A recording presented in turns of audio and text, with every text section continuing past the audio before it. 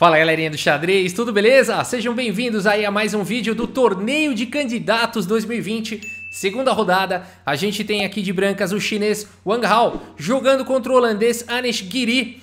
E vamos lá, vamos ver essa partida. É, o Wang Hao abre aqui com a abertura inglesa. A gente viu bastante da abertura inglesa na primeira rodada e o Wang Hao agora abre é, com essa mesma abertura. C5 aqui pelo Giri, cavalo C3, G6, G3, Bispo G7, bispo aqui em G2 e agora cavalo aqui em C6. A gente tem aí a abertura inglesa, a variante ultra simétrica, né, como se essa posição tivesse espelhada aí no meio do tabuleiro.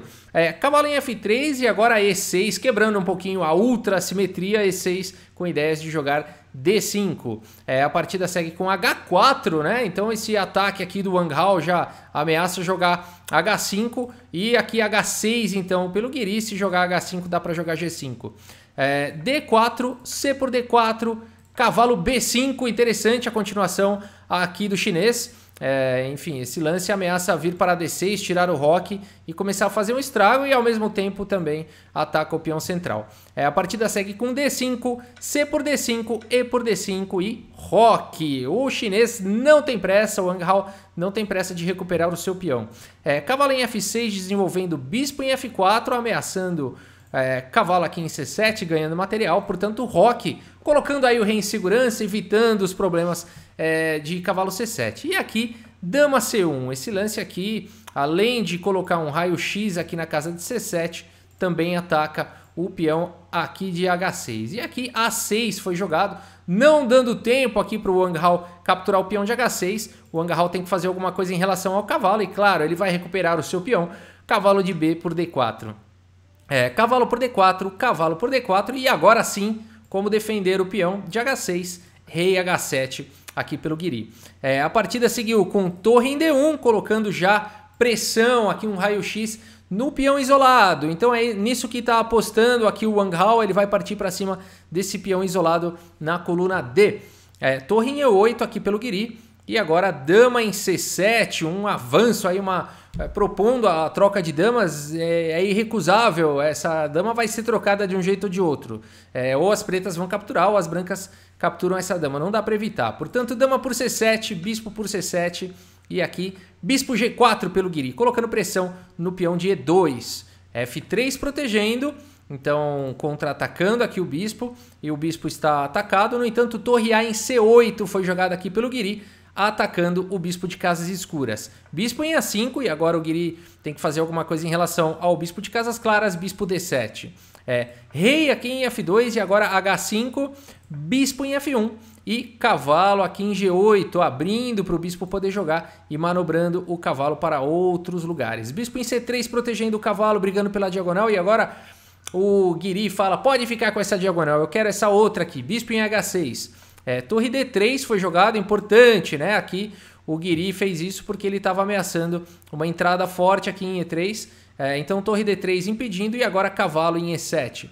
Torre de A em D1, bispo volta para G7 e agora E3. Então vejam como o Wang Hao aqui de brancas vai jogando lances extremamente sólidos. Né? O rei em F2, o peão em E3, o bispo em F1. Ele está se protegendo, o Guiri está soltando um pouco mais a mão aí. É, rei em G8, torre de 3 em D2 e agora bispo aqui em A4 atacando a torre. A torre vem para E1 em segurança e agora o bispo volta para D7.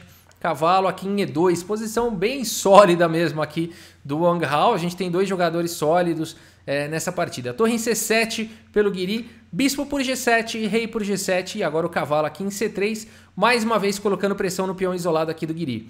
É, bispo em E6 protegendo, torre de E em D1 intensificando a pressão no peão central e agora B5. Por enquanto, não vale a pena para as brancas capturarem esse peão. Existem duas peças menores protegendo e apenas uma peça menor atacando. É, as pretas aqui estão ameaçando uma entrada com B4. Portanto, o A3 foi jogado evitando o lance B4. Torre B8 e agora o cavalo aqui em E2. A5 preparando a expansão na ala da dama, o cavalo vem para D4, numa excelente casa central. O bispo volta para D7, trazendo uma proteção para o peão de B5, que já estava atacado duas vezes. Portanto, o peão agora está protegido e o Wang Hao é, não, não permite a expansão na ala da Dama das Negras com o lance B4. A por B4, A por B4 e agora o Guiri que é a coluna A. Torre aqui em A8.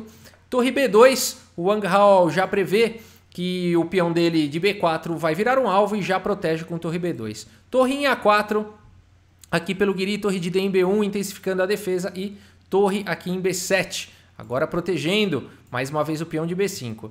É, torre C1 e agora a torre de B em A7.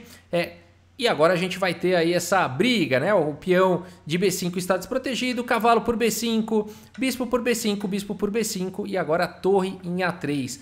Então aqui o Guiri permitiu né, as brancas ganharem aí um peão para, enfim, intensificar a sua pressão no peão de E3, o cavalo poderá vir para F5. É, vamos ver como a partida segue. Bispo em E2, torre aqui em B7 atacando o peão de B, é, B5 e agora torre aqui em B6, parando esse peão de uma vez por todas.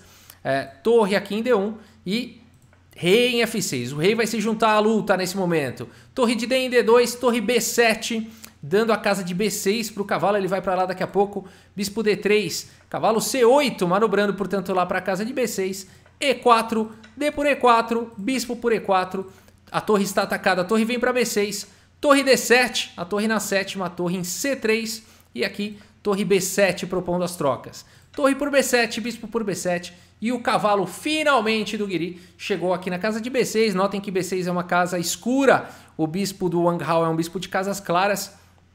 E aqui é uma manobra bem instrutiva, né? Você deve bloquear o peão passado, preferencialmente com o cavalo. O cavalo é o melhor bloqueador de peões passados, porque além de bloquear, ele continua é, atuando sobre casas é, através aí do peão, né? Então, um excelente bloqueador numa casa escura. E aqui, olhando para essa posição, né, pessoal? Mesmo as brancas com peão a mais, não fica muito claro como encontrar um plano aqui para vencer, para tentar é, avançar com esse peão. É muito difícil, uma posição ainda muito equilibrada. É, bispo em E4, rei aqui em E5, torre D2, torre aqui em B3 atacando o peão. Bispo C6 protegendo e agora cavalo C4. Esse é o ponto. As pretas estão muito bem colocadas, o rei está muito bem colocada, as peças de forma geral muito bem colocadas. Então o peão a menos nessas horas passa a não pesar tanto. A torre está atacada, no entanto, F4 foi jogado porque vem com cheque. Rei volta para F6 e agora a torre D8.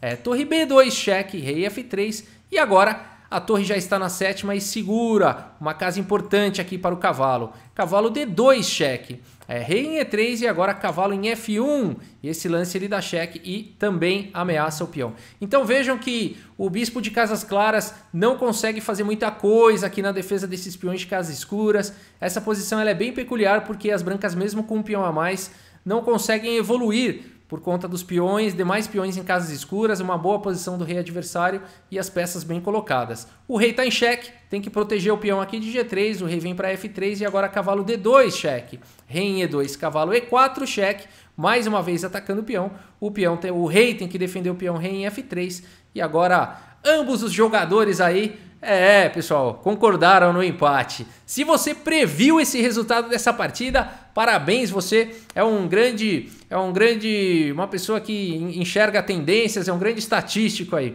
É, as brincadeiras existem porque o Guiri ele é conhecido por empatar muitas partidas, é um jogador muito sólido, então essa brincadeira é eterna no xadrez. A gente sempre vai fazer, não tem jeito. Mas o Guiri, claro, um super grande mestre, um super jogador. Uma partida muito precisa dos dois lados. Vamos dar uma olhada aqui no relatório do chess.com. Vejam só. 98,1% de precisão aqui para o, o quem que tava de brancas mesmo? Já me deu branco aqui. Wang Hao. Wang Hao e 97,7% para o Guiri, né? Então vejam a precisão absoluta dos dois jogadores. 38 dos lances do Wang Hao foram os melhores, 35 para o Guiri. 6 lances excelentes para o Wang Hao, 8 para o Guiri. 10 lances bons para o Wang Hao contra 9 do Guiri. 5 lances aí de livro. E olha só, gente, duas imprecisões do Wang Hao, três do Guiri e só na partida toda. O gráfico é muito interessante mesmo, com apenas imprecisões as brancas ficaram realmente melhores.